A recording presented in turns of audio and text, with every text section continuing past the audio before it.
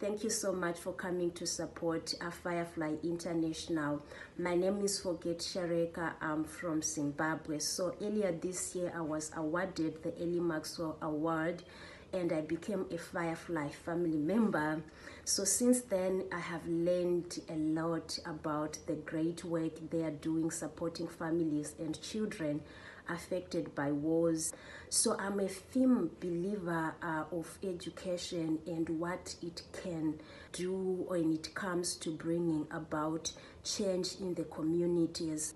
I'm one of those people who awarded the uh, education opportunity while I was in a very marginalized and difficult uh, community and also facing all the life difficulties. Today I'm here speaking to you. I have already uh, had opportunity to speak on bigger platforms like uh, the African Intergenerational Leadership Conference at the COP26.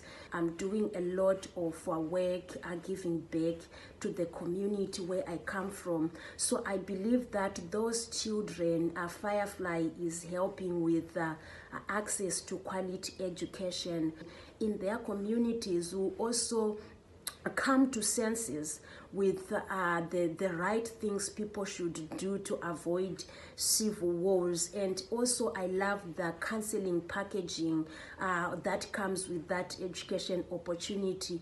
Having an organization like Firefly International uh, committing its resources to help those uh, kind of people is highly commendable.